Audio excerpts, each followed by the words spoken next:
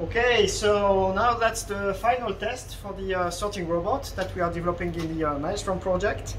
Uh, this is all the uh, garbage, marine litter, that was collected during the uh, beach cleanups in Venice mainly, but also some stuff come from uh, the bubble barrier uh, experiment in Amsterdam.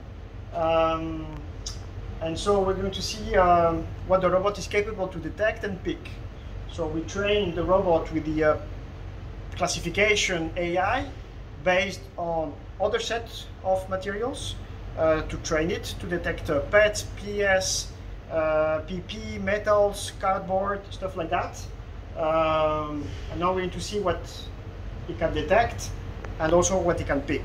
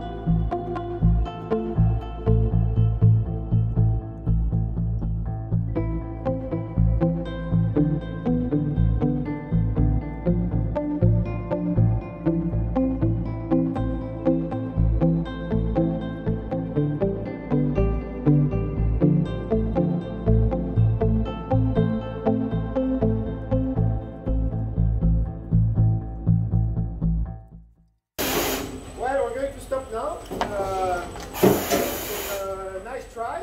I think it's working quite well. The rest I think are doing well, others not so much. The dirty stuff is considered as better or not. But uh, I mean, uh, for the first trial, I think it's a good one. So, congratulations to everyone. And uh, cheers for the next project.